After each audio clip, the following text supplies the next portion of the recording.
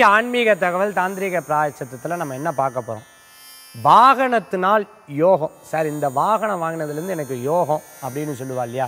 அது ஒன்று வாகனத்தினால் எனக்கு வருமானங்கள் சார். சார் இந்த வாகனத்தை வச்சு தான் நான் டெய்லி கொண்டு போய் பால் போடுவேன். அது எனக்கு ஒரு பெரிய வருமானம் கிடச்சிது சார். இந்த வாகனத்தை வச்சு தான் நான் காய்கறி விற்பனை பண்ணுவேன். அது எனக்கு வருமானம் கிடச்சிது சார். இந்த வாகனம் வாங்கினதுலேருந்து தான் சார் எனக்கு யோகம் வருது.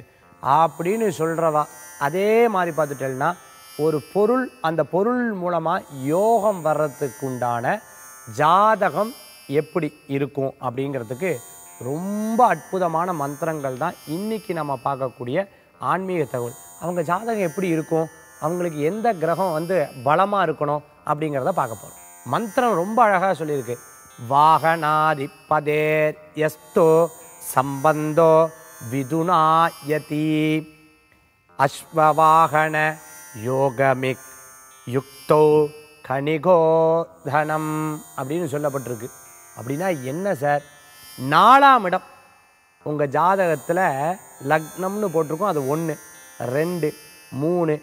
நாலாம் இடம்தான் இந்த வாகனம் பொருட்கள்னு சொல்கிறது இந்த வாகனம் பொருட்களுக்குண்டான அதிபதியோ அல்லது அந்த இடத்துல இருக்கக்கூடிய கிரகம் ஏதோ ஒரு வகையில் சந்திரனுக்கு சம்பந்தப்பட்டதுனால் வாகனத்தின் மூலமாக வருமானம் வரும்.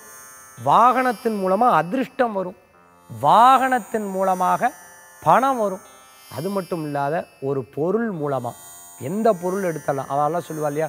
தொட்டதெல்லாம் இவளுக்கு விளங்கு தொட்டதெல்லாம் தங்கமாக மாறுதுன்னு சொல்லுவா இல்லையா? அவள் ஜாதகத்திலலாம் தொட்ட காரியங்கள்லாம் வெற்றிகரமாக மாறும்னு சொல்லுவாள் ஸோ இதை அற்புதமான மந்திரங்களாக நம்ம ஜோதிட சாஸ்திரங்களில் கொடுக்கப்பட்டிருக்கு. உங்கள் ஜாதகத்தில் இருக்காங்கிறத அஸ்ட்ராலஜர்கிட்ட செக் பண்ணுங்கள் உங்கள் ஜாதகத்தில் இருக்காங்கிறத பாருங்கள் இன்றைக்கி ஆன்மீக தகவல் தாந்திரீக பிராயச்சித்தத்தில் வாகன யோகம். அந்த வாகன யோகத்தில் செல்வம் பெருக்கிறதுக்கு அதே மாதிரி ஒரு பொருள் அந்த பொருள் மூலமாக செல்வங்கள் பெருக்கிறதுக்கு இன்னைக்கு யோகம் தரக்கூடிய அற்புதமான விஷயங்கள் நம்ம பார்த்துருக்கோம். மீண்டும் நாளை சந்திக்கும் வரை உங்களிடமிருந்து விடைபெறுவது ஜோதிஷாச்சாரியார். ஜோதிஷ கலாரத்னா மகேஷ் ஐயன் மனசில் ஏதோ ஒரு கவலை இருந்துன்னு இருக்கா என்ன பண்ணுறதுனே இதில் கவலையே படாதீங்க. முருகப்பெருமானை பிரார்த்தனை பண்ணுங்க. வெற்றி நிச்சயம் உண்டு. வேல் வேல் முருகா. வெற்றிவேல் முருகனுக்கு கரகரோகரா. நன்றி.